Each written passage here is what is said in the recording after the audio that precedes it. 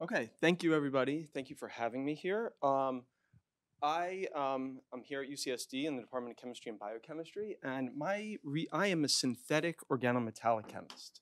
And what organometallic chemistry is in brief is the manipulation of the transition elements. It's those sort of scary elements in the middle of the periodic table with organic matter. Um, and also the alternative, it's the manipulation of organic matter by the transition elements as well. And organometallic chemistry now is a pretty mature field. It's responsible for all of the polyethylene and polypropylene that goes into our beautiful plastic bags and plastic bottles that we like to throw in the trash. Um, in addition, a lot of the soles of your shoes, the rubbers that are uh, a component of that, are made by organometallic catalysts. In addition, I would say you're hard pressed now to find any pharmaceutical compound that we take as medicines that hasn't um, been synthesized using an organometallic chemistry step. However, in the beginning of organometallic chemistry, it was really um, a curiosity, I would say. And what I have here is an illustration of some of the fundamental molecules in organometallic chemistry. These are very simple molecules where you have transition metal centers just surrounded by carbon monoxide ligands. The gray is carbon, the, uh, the red is oxygen there. And what these particular molecules represent, I'm sure everybody in the room has heard of free radicals. These are supercharged free radicals. These are molecules that have an electronic structure that are missing several electrons. And in chemistry, we call that the height of reactivity, electron deficiency. And why these molecules were so interesting um, in the early days, they were studied by really physical chemists, I would say, in the gas phase and in cryogenic matrices, and also considered theoretically by some of the real luminaries in uh, computational and theoretical chemistry, like the Nobel laureate Roald Hoffmann, was really to answer simple questions about the fundamental nature of bonding between transition metals and their ligands. And so these molecules here I like to refer to as the ghost molecules. These are molecules that cannot be isolated. They are often catalytic intermediates or molecules with exceedingly short lifetimes, usually on the order of a microsecond or, or uh, less. And needless to say, these are molecules that when you learn about organometallic chemistry in the classroom, sort of in upper division inorganic chemistry or in the graduate class, you study these molecules to really understand the behavior and some, in some respect the possibilities of what transition metals can do. And I, when I took these classes, I was always very enamored by this story because an entire field, in terms of its fundamental nature, is basically built around molecules that can't be isolated. These are molecules, again, that you see at 4 Kelvin, 5 Kelvin, or in the gas phase. But if you look at them and start to understand these beautiful electronic structures, you would say these would be molecules that could really do some really interesting chemistry if you could figure out a way to isolate them in the condensed phase. And so when, we, when I, my group started here at UCSD in 2007, we basically had this simple idea. How do we take these ghosts and turn them into real things? How do we take molecules that can't be isolated in normal conditions like we have now and make at least mimics or models of them or like what I like to call molecules that embody the spirit of these reactive entities such that we can do some productive chemistry. And so when we started, what we did is a relatively simple idea, which is we looked at these metal carbonyl complexes that are highly reactive. And we just used a little bit of electronic analogy between carbon monoxide and an organic compound called an isocyanide. And we thought that uh, the carbon monoxide is a particular electronic structure. Isocyanides have a similar electronic structure, but the isocyanides can actually have these big organic groups where we can then build in steric protection for these molecules and at least have a chance of isolating compounds that look like these ghosts. And so over the years, we've made a whole series of these organic groups to stabilize these compounds. And what I like to say on this slide is my trophy case. These are a bunch of molecules that we've made that, that basically mimic these ghost molecules. What this slide represents is the X-ray crystal structure of these compounds. And so that means that these compounds have been isolated as solid materials at room temperature that we were able to determine their precise electronic structures. And what we've done over many years is we've under, uh, synthesized these compounds, we've studied their behavior, and sometimes we've just marveled at their beauty. And now you may be thinking, this sounds like a pretty esoteric science that has very little application to the real world. And what I'm here to tell you is that you're absolutely right. 100%. and this is where Research Corporation and foundational support have come in. Research Corporation um, really made a very early investment in my research program because what I think um, uh, I like to say is I was really trying to pull at the heartstrings of organometallochemistry. These were compounds that have been studied theoretically um, uh, for many, many years by such luminaries, but it's really remarkable that a science that is so mature, right, is based on compounds that you really can't touch and feel. And so when we endeavored to try to make these compounds, and what I, what I like to say to put a face to the name, Research Corporation was really there to uh, support us and believe in this type of research that hopefully it could come up with or we could develop some really interesting things that at least even challenged some of the fundamentals of organometallic chemistry and then bring it into sort of a new era.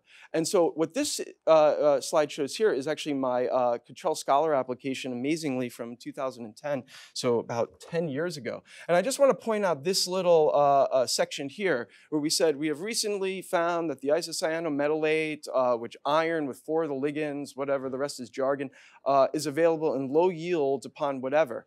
This is encouraging and we intend to optimize the synthesis. And so this was really a very, very early, early uh, inkling that we had some interesting results um, in this area making iron isocyanide compounds. And so over the years, we've really been exploring this particular area. And what I can say is that this was the compound that we first uh, were talking about in that application. Iron with four of these ligands, it's got a dianionic charge.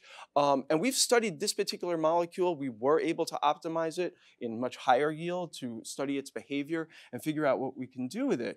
And over the years, we saw that it is quite reactive. It does some really remarkable things. But like anything, it has some limitations. And so uh, in uh, uh, as we went on in this particular area, we developed some other molecules. Here's iron with two of the ligands with two dinitrogen ligands. And so the chemists in the audience will realize this is not a very stable compound. This is a compound that's quite beautiful in terms of its actual um, composition and electronic structure, but possibly not so useful because it's just a little bit too reactive.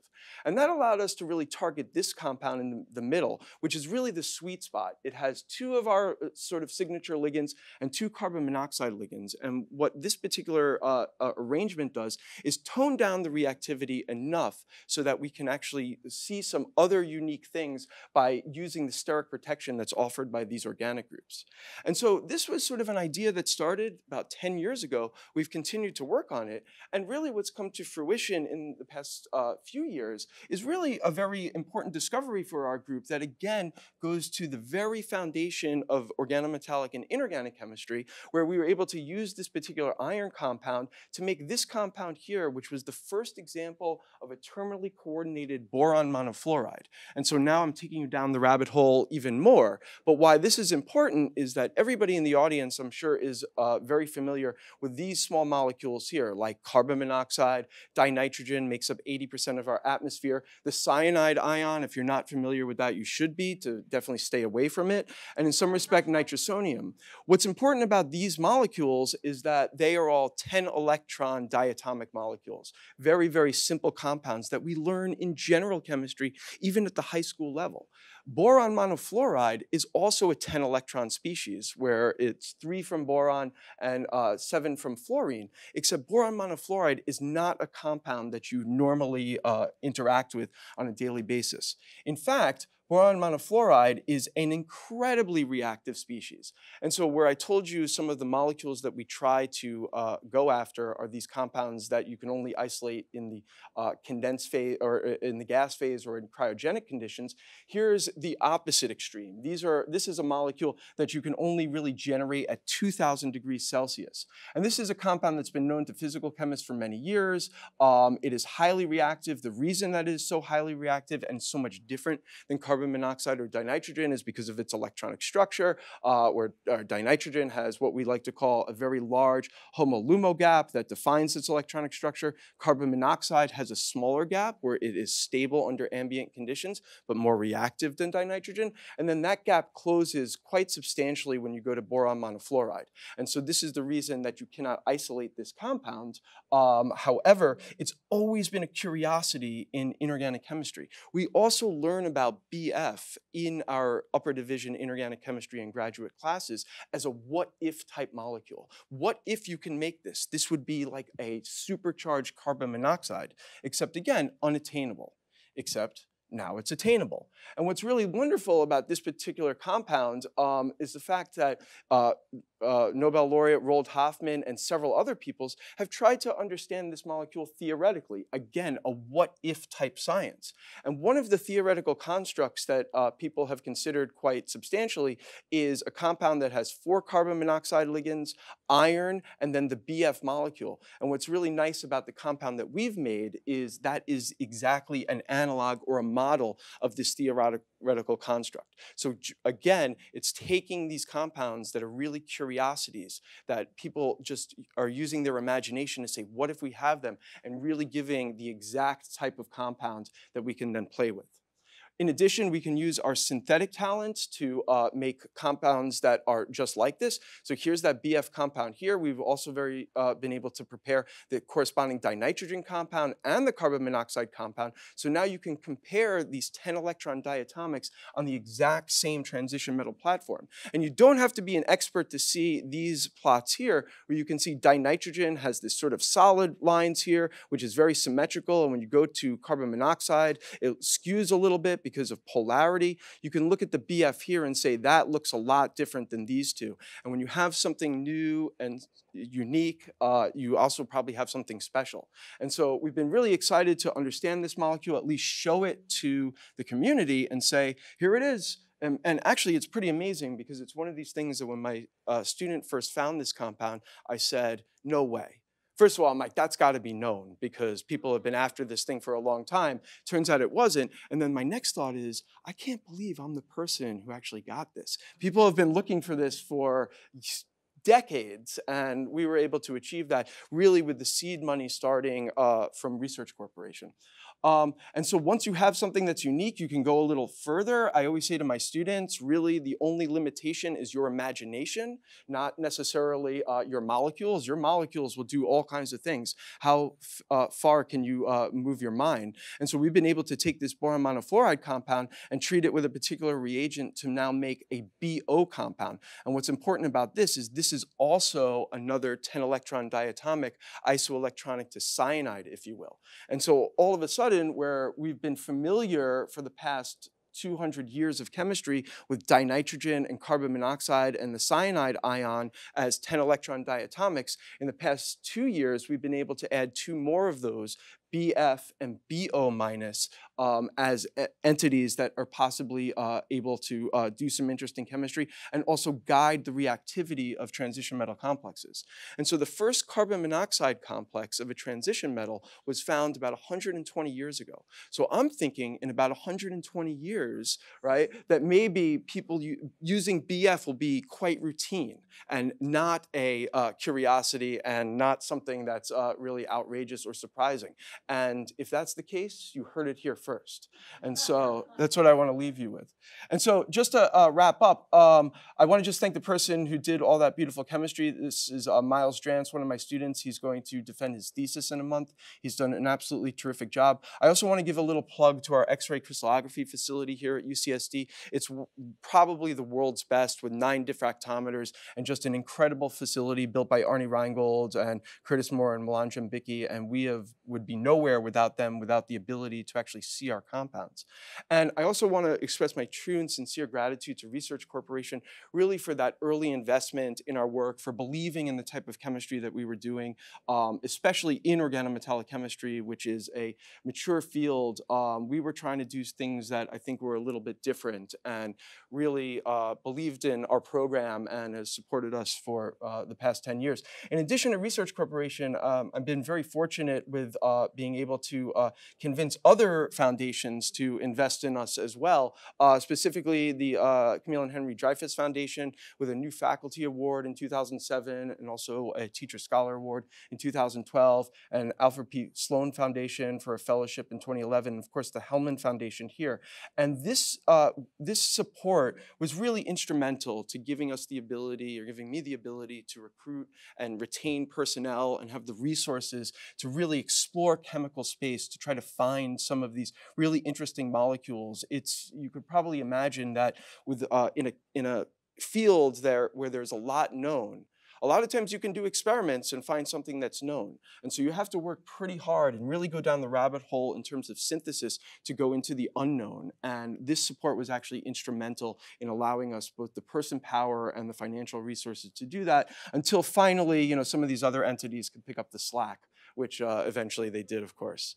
Um, and so again, I really appreciate um, the great relationships we've had over the year, Richard, Sylvia. Um, it's been really fantastic and really instrumental to uh, my career, certainly in the very beginning. And so with that, um, thank you for having me here, and I'm happy to answer any questions.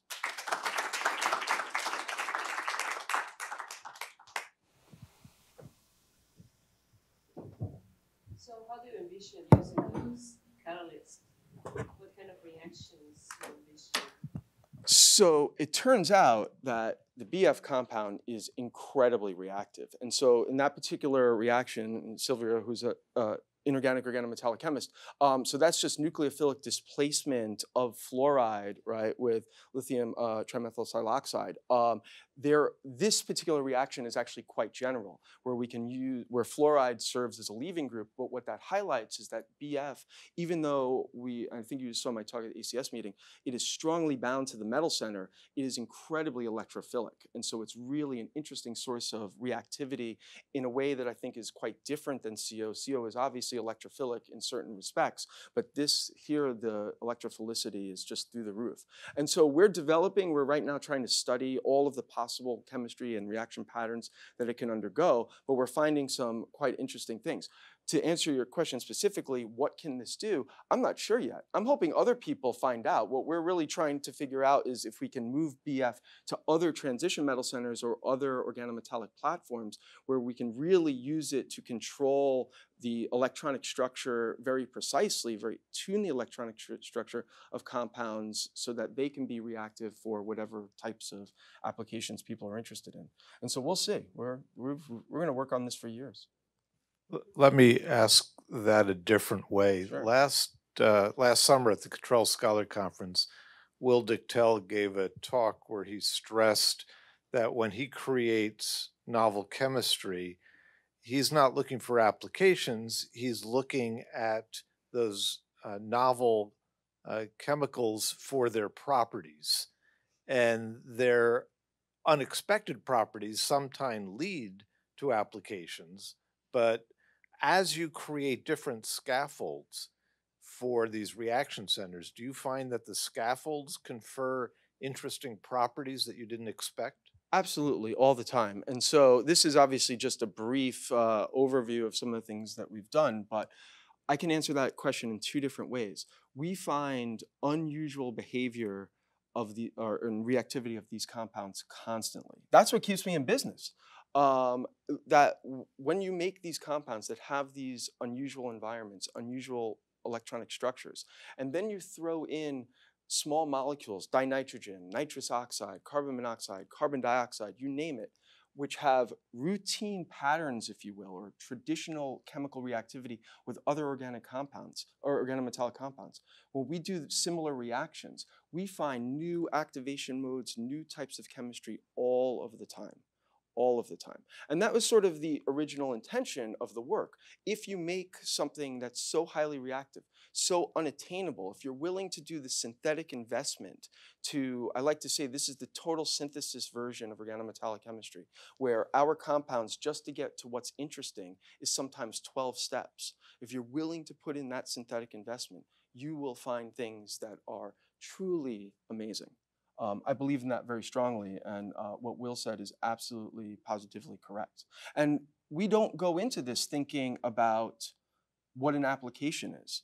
Um, we're not, we're unfortunately not that creative. What I say to my students all the time is, here's an area, here's a target, go and make it. And once you've made it, and once you have it, have fun, see what it can do. And that's when we, that's when the discovery starts. And so that's, that is the guiding light of our program. Thank you so much again, Thank you. Sincerely.